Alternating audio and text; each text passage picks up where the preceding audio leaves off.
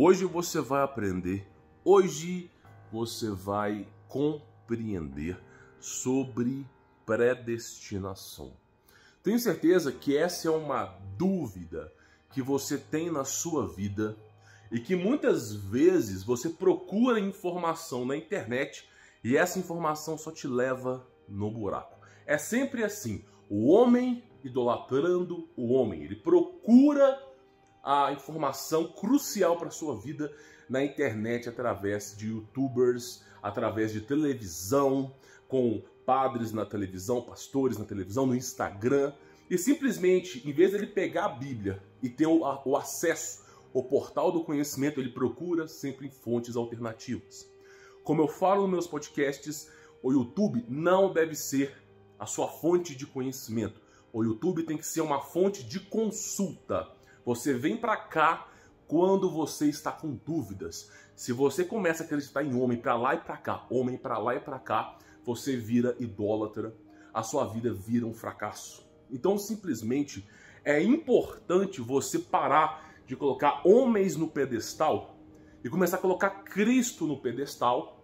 Você lê Lucas, Mateus, você lê Isaías, João, para você poder ter uma noção do que é Cristo. Então, por exemplo, predestinação, para quem não é invólucro no YouTube, porque existem um mundo longe, que assim, o YouTube é isso aqui, o mundo é isso aqui, ó. Para quem não está invólucro nesse casulo chamado YouTube, já manja de cara que predestinação é uma coisa simples de se entender. Tá? Vou explicar e você vai entender. Vamos lá, eu vou falar algumas coisas importantes que você saiba.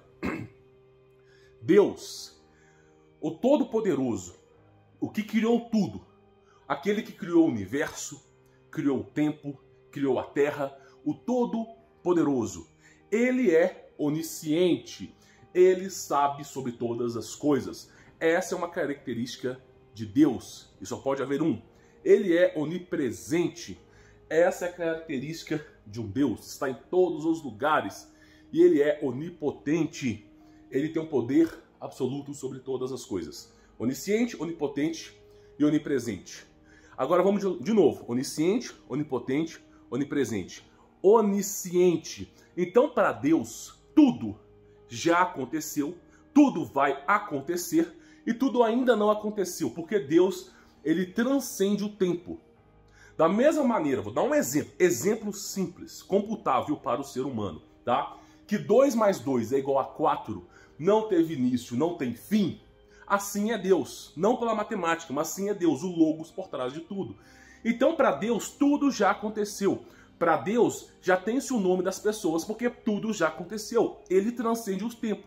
Agora, qual que é o problema? O problema é que o ser humano acha que essa lei transcendental é, ela é válida para o ser humano, que caga, peida, mija, rota, come farofa. Não é. O ser humano tem escolhas. O abrir e fechar da minha mão, sou eu que escolho. Sou eu que escolho. Porém, para Deus já aconteceu. Então, as pessoas estão fazendo o quê?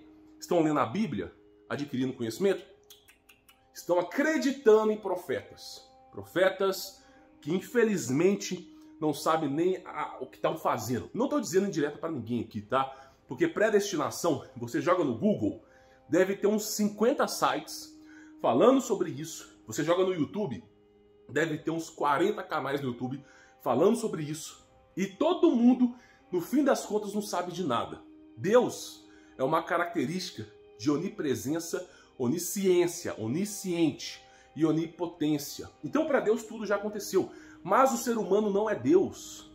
O ser humano, se fosse Deus, seria um Deus com diminurgo, tá bom? Seria simplesmente filho de Deus. Filho de peixe, peixinho é. Filho de Deus, Deusinho é. Como se fosse, tá? Um D, um D com D minúsculo, um diminurgo. Porque Deus é a, é a expressão toda. O ser humano é um pequeno átomo. Um pequeno átomo. Então você tem que entender o seguinte. Essa predestinação, ela só existe na presença de Deus. Na presença do universo. Na presença do tempo. Na presença do livro da vida, o livro da morte os anjos estão lá, tá? Com o nome lá, ó, se vai escrever ou não. Na presença da existência de tudo, você tem a chance de ser salvo ou não. Nessa presença. Então, qual são os efeitos colaterais da droga predestinação? Porque é uma droga, é uma droga mesmo. Do contexto etimológico, droga, porcaria, tá? Porque qual, qual é o efeito da predestinação? O efeito da predestinação é um simples e fácil. Olha, eu sigo Cristo, sigo, faço o meu melhor para poder seguir Cristo. Mas o meu nome não está escrito no livro da vida, eu vou para o inferno. Então, para que eu estou seguindo Cristo? Esse é o efeito da droga da predestinação. Porque não é isso que Cristo ensina. Eu não sei que doutrina que é essa, mas nunca foi cristã. Inclusive, em Atos dos Apóstolos é dito o seguinte: pela primeira vez, os discípulos de Cristo foram chamados cristãos. Honra Cristo e assuma ser cristão. Honra Cristo. Se você não é cristão, meu amigo, tudo bem. Mas se você é cristão, honra Cristo. Eu sou Cristo, eu sou cristão. Eu sigo a Cristo, eu sou cristão. Faça uma escatologia bíblica e você verá em Atos dos Apóstolos que cristão é quem segue a Cristo. Então, essa questão de predestinação, explicando para vocês, é uma doutrina maquiavélica. É uma coisa que é, é verdade para Deus, mas não é verdade para os homens. Porque os homens, eles estão debaixo do tempo. Todo mundo nasce, vive, morre. Todo mundo está su sujeito à causalidade de todo o universo. Todo mundo está sujeito à interferência de anjos, de Deus, da vida do Espírito Santo. Então, simplesmente, a nossa vida ela é feita de escolhas.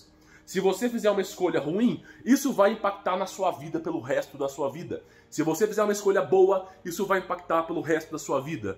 Se você decide fazer a escolha de Cristo, isso vai pesar na sua vida o resto da vida. Porque ser cristão não é viver um mundo de gozo e alegria. Então, simplesmente, predestinação não se faz, não se faz uma doutrina ensinada por Cristo. Muito pelo contrário, a predestinação ela descaracteriza o teu esforço em ser salvo.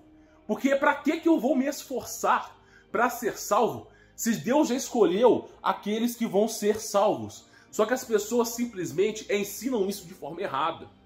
Porque para Deus, ele é o logos por trás da coisa, a onisciência dele é absurda, sabe sobre todas as coisas. Inclusive, muitas pessoas ficam falando: Jesus Cristo não é Deus porque Jesus Cristo estava orando para Deus. Olha, Deus é onipresente, está em todos os lugares, ele pode se fazer em carne, o verbo que se fez carne em João. Ele pode se fazer carne, assim como ele se faz em espírito. Deus consegue ter uma presença assim, astrondosa. É, é, Deus consegue ser duas, três, quatro, cinco coisas ao mesmo tempo. Agora, para o homem não dá.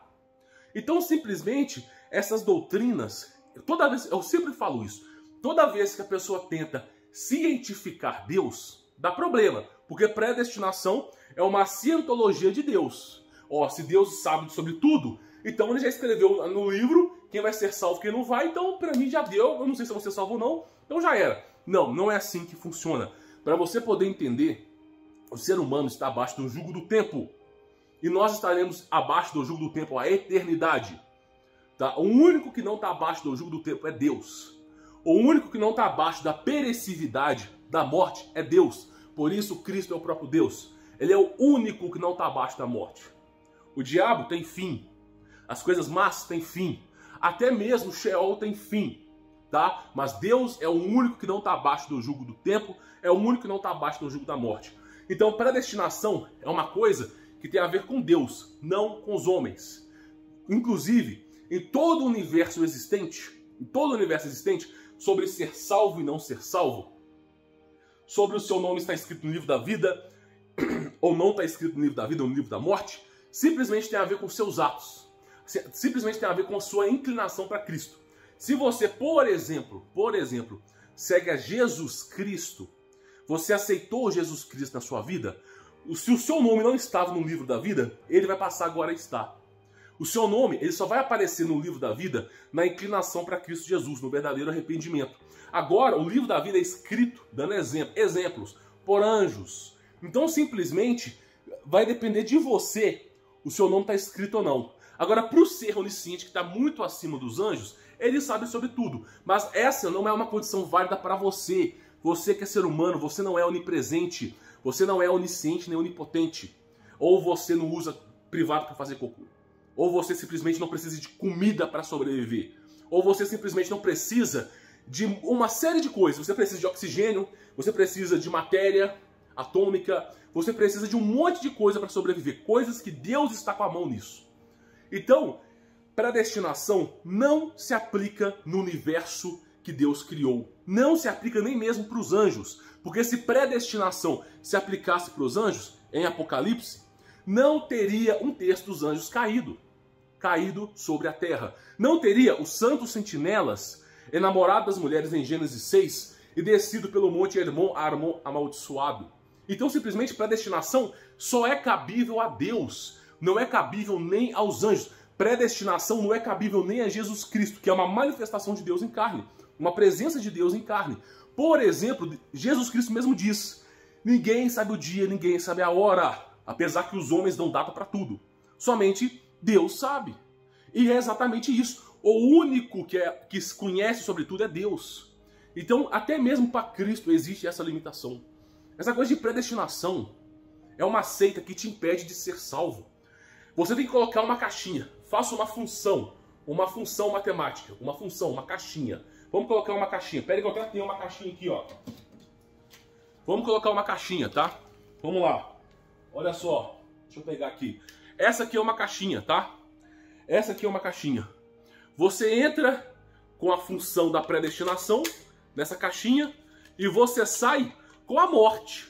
Porque você pensa assim: ah, simplesmente se existe predestinação, então para mim, tanto faz, tanto fez. Se Deus já escreveu no livro que ele, que ele já escolheu aqueles que vão ser salvos, para mim já era. Inclusive até caiu, que vou até pegar. Então, simplesmente, essa é a função predestinação. Te leva à destruição, ruína e morte. Agora, se você coloca na função, tá? Vou até colocar aqui, na função que a predestinação só é feita para Deus e que nós estamos abaixo do jugo do tempo, estamos abaixo de, da presença de Deus, simplesmente você sai daqui uma nova criatura.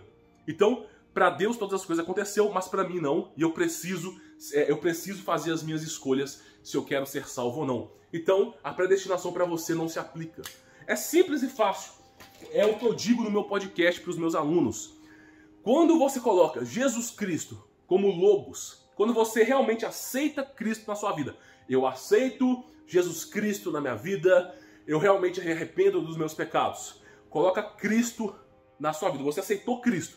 Agora comece a estudar sobre Cristo. Ele é o verbo que se fez carne. Quem é o verbo? Quem é o verbo? Quem é quem, quem que estava presente desde a criação do mundo? Quem estava presente desde tudo? Quem é o verbo? O verbo é Jesus Cristo. O verbo é o quem? O Espírito Santo. O verbo é quem? É Deus. É a presença de Deus que veio ao mundo porque amou o mundo de tal maneira que se fez em carne para que o ser humano tivesse a salvação. Então, quando você aceita Cristo, você coloca Cristo acima de tudo, de tudo. Você faz uma hermenêutica, uma, um estudo verdadeiro da Bíblia, uma hermenêutica e coloca Cristo como centro dessa hermenêutica. Sabe o que acontece? A Bíblia vira um livro de crianças. A Bíblia vira um livro fácil. Porque Cristo é o logos por trás de tudo. Os apóstolos, eles são passíveis de erros, assim como o ser humano é. Já falei isso no podcast. O apóstolo Paulo, é só você ler Gálatas, você ler Hebreus, é só você ler é, Atos dos Apóstolos, quando estavam criando uma igreja, né, botaram na cabeça do apóstolo para criar uma igreja, Aí chegaram lá os doutores da lei, chegaram lá e simplesmente começaram a apoderar da igreja. E Paulo falou: Meu, não dá para ter igreja. Então Paulo fez uma decisão errada de criar igreja. Então você vê que os apóstolos estão, eles também estão abaixo do jugo do erro, apesar que são grandes pessoas, pessoas que realmente trouxeram sabedoria para todos nós. Inclusive, a, pela, não pela Bíblia católica, mas pela Bíblia etíope, né? A mãe de Cristo teve uma hora que começou a duvidar de Cristo. Então, simplesmente, existe esses momentos. A presença de Cristo, ela tem que ser acima. Quando você lê, por exemplo, um apóstolo, você tem que parar a pensar, será que ele está certo? Vamos lá em Mateus, em Lucas, vamos ver o que está falando de Jesus Cristo. Aí você vai lá, ó, Cristo fala isso. Coloca Cristo como chave hermenêutica, resolveu o seu problema. Então Cristo é o louco por trás de tudo. Simples, prático e fácil. Por isso, você não fica fazendo os ritos de Baal, O que, que é rito de Baal? Baal adorava gritar. Né? Os, os, os... Vá, vá, vá você estudar sobre a história de Baal, a história do profeta Elias. Vai estudar para você ver o confronto que se teve. O que, que, que, os, o que, que os profetas de Baal adoravam fazer? Barulho, rasgar roupa, aparecer para as pessoas, uma série de leis estranhas, tocar é, simplesmente essas cornetas aí que eu não vou dizer o nome. Então é isso que os caras queriam fazer. Agora, você vê até Cristo mesmo falando. O, o isso assim, não estou falando mal da, da crença judaica, mas os judeus adoram falar dos profetas, mas foram eles que perseguiram os profetas. Porque o ensinamento de Cristo é imutável. É imutável. Cristo esteve presente. Para quem tem o coração envergado para o bem, quando lê é, o Antigo Testamento, sabe exatamente que Cristo está presente ali. Cristo esteve presente com Moisés. Cristo esteve presente à frente de um monte de coisa. Foram 53 aparições de Cristo no Antigo Testamento, só para você poder ter ideia. Só que o homem sempre enverga para o mal. Moisés chega lá com o êxodo 20, com as leis, que é um estatuto perpétuo, leis simples de seguir, não vai matar o próximo, não vai cobiçar a mulher do próximo, não sei o que, não sei o que, não sei o que. O que, que aparece? Do nada, bezerro de ouro. Analogia a Baal. Tá? Inclusive, você sabe mais sobre Baal quando você estuda a, a, a história dos, do, dos, profetas de Baal, a história do profeta Elias. Você vai entender justamente o que, que esses caras queriam das pessoas. Então, simplesmente, só para responder para você, essa história de predestinação não é uma história produtiva que leva você à salvação. Muito pelo contrário, é uma doutrina ensinada por homens, não está presente na Bíblia, não está na Bíblia, não está escrito que Deus escolheu os seus e que simplesmente se você não for escolhido você vai morrer. Não está na Bíblia. É, é preciso ser homem e assumir isso. Muito pelo contrário, Cristo mesmo diz: Cristo mesmo fala, né? Larga tudo e me segue. Cristo, quando chegou uma mulher pecadora, apesar que a tradução é outra, mas vamos dizer pecadora, Cristo foi convidado a almoçar, por exemplo, por exemplo, na casa de um rabino, tá? Foi convidado, ele foi almoçar na casa do rabino. E simplesmente, quando ele chegou lá, uma mulher pecadora começou a chorar nos pés de Cristo. Uma mulher invólucra em pecados. E simplesmente o rabino ficou: olha, essa mulher ela é pecadora, não encoste em você, você vai ficar pecador. Exatamente o que os profetas de Baal faziam no passado. Não, você não pode encostar, não sei o quê. Ela chorando, chorando aos pés de Cristo, trouxe consigo bálsamo, gastou todo o seu dinheiro com bálsamo e começou a lavar os pés, molhar o pé de Cristo com bálsamo enxugar com os cabelos. E Cristo mesmo disse: Perdoados estão os seus pecados. Esse é o meu Deus. Esse é o meu Deus, que tem rejubilo, alegria por aquele que quer a salvação, por aquele que procura a salvação. Então, Cristo Jesus, ele é a base por trás de tudo. Colocando Cristo Jesus como logos por trás da Bíblia, como chave hermenêutica, você vai encontrar a salvação. Então, simplesmente esse é o contexto por trás da predestinação. É uma doutrina que leva homens à destruição e a morte. Não foi isso que Jesus Cristo ensinou em seu evangelho. Não é uma doutrina do Senhor Jesus Cristo, é uma doutrina de homens que parte de preceitos judaicos, coisas obscuras, que eu não quero nem falar o nome, que está presente em livros obscuros. Não tem nada a ver com o que Cristo Jesus ensinava. Importante você entender isso. Quando você começar a colocar Cristo Jesus na sua vida, você vai entender que a coisa é muito mais simples do que aparenta ser, tá bom? Basta que você dobre o seu joelho, que você se arrependa para que Cristo Jesus paire sobre a sua vida. Basta que você creia em Cristo Jesus para que simplesmente o Espírito Santo paire sobre a sua vida. Esse é o verdadeiro evangelho, o evangelho do arrependimento, o evangelho do perdão, o evangelho do amor. Porque as pessoas têm medo de amor, têm medo de amar adoram falar mal do amor. Amor, Roma, amor, adoram falar mal do amor. Os seres humanos não têm mais amor com o próximo, não têm mais amor consigo mesmo. O amor de Cristo é infinito. Ou você acha que você é um simplesmente um, um xamã espacial, conhece sobre tudo e você mesmo trava o destino do teu caminho? Ou será que não é o amor de Cristo que faz com que você seja salvo? Então, simplesmente é preciso descaracterizar o homem do pedestal, acreditando que agora ele é o Senhor sobre todas as coisas, e julgar o ser humano lá no chão, assim como foi feito com Lúcifer. Julgar no chão, na humilhação, no barro, para o ser humano entender, entender que Cristo é a chave de todas as coisas. Porque o ser humano é como se, é como se foi feito na Babilônia, degrau por degrau. Toda hora o ser humano querendo subir aos céus. Todo ano, todo momento estavam construindo degrau sobre degrau. O ser humano sempre querendo ser Deus, sempre querendo ser Deus. Vê lá e ó, pá, destruiu a Babilônia. Ou você tem um você consegue ver um, um monumento aí de 10, 15 quilômetros de altura. Ah, não consegue, né? Foi, virou escombros. Então, simplesmente, é preciso entender que o ser humano erra, o ser humano é passível de erro, tá? E que só depende de nós mesmos, das nossas escolhas para sermos salvos ou não. A predestinação não é uma coisa que foi ensinada por Cristo Jesus. Tá bom? Bom, falando disso, um recadinho bem rápido aqui. Eu tinha feito uma enquete no meu canal perguntando para as pessoas se elas queriam que eu gravasse no quadro, tá? Porque eu estou produzindo minissérios documentários. O pessoal é, falou que gostaria que eu trabalhasse com, com, com quadro também. Então eu vou voltar a trabalhar com quadro, tá? Pode ficar tranquilo. Sobre os problemas do passado, os problemas que aconteceram há um mês atrás, fique tranquilo. Eu estive a viagem, já conversei com uma série de pessoas tá? Já sei exatamente, caso alguma coisa aconteça, o que eu preciso fazer. Então fica tranquilo, bola pra frente aqui, tá bom? Não vamos mais lembrar dessa história horrível e mentirosa do passado. Então, já sei o que eu preciso fazer, já tive a viagem, já resolvi os problemas, pode ficar tranquilo. Então, a partir de agora, são aulas no quadro, tá? Pode ficar tranquilo que as coisas já estão se resolvidas.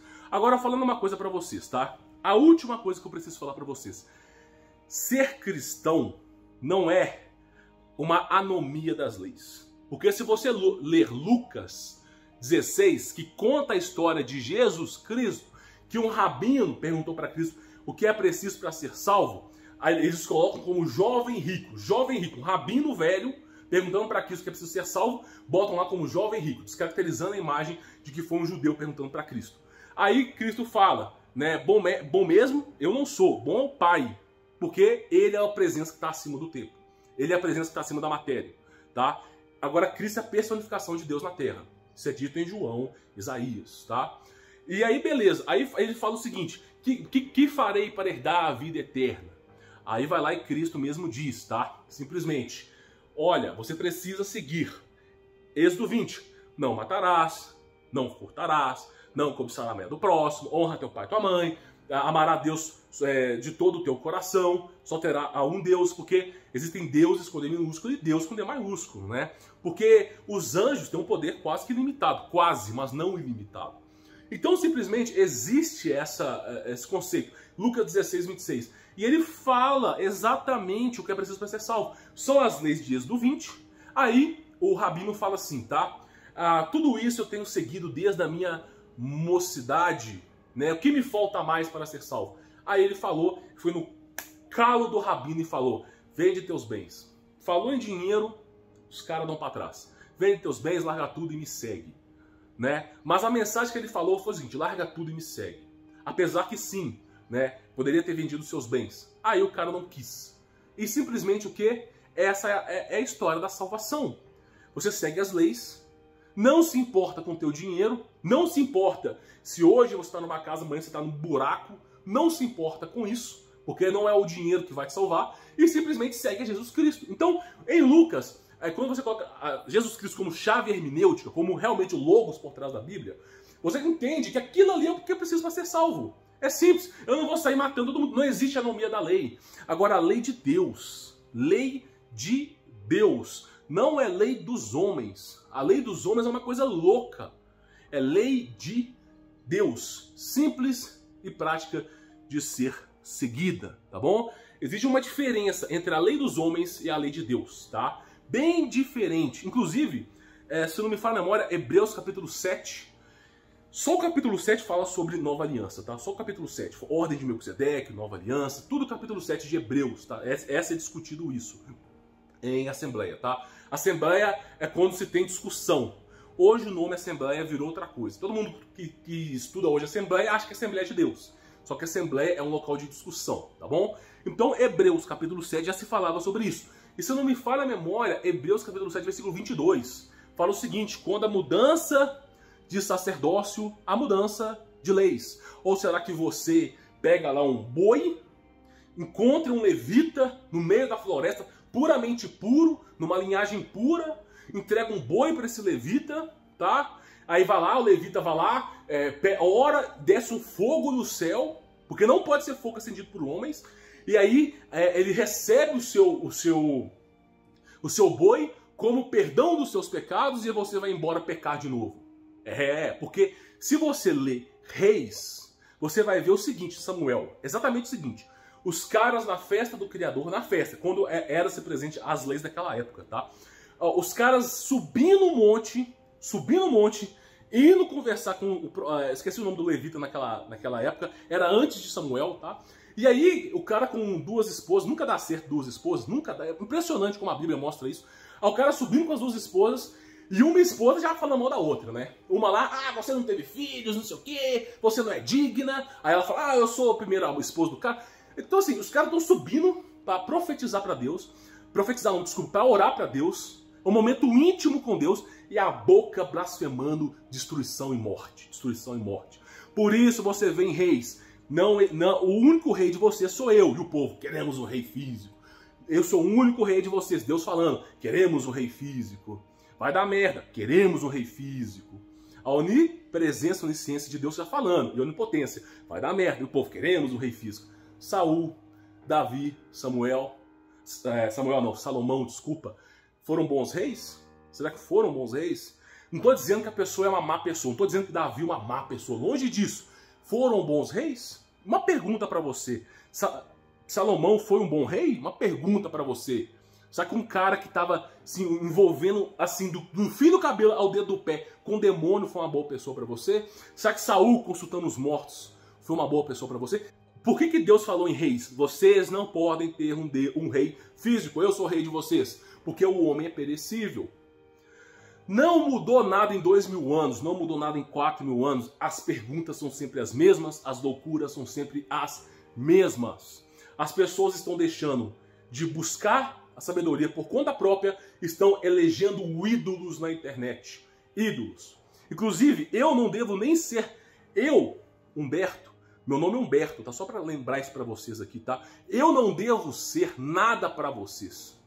Eu não posso ser nada para vocês eu tenho que ser uma pessoa indigente para vocês. Porque no momento que você colocar eu como pedestal, você vai estragar sua vida.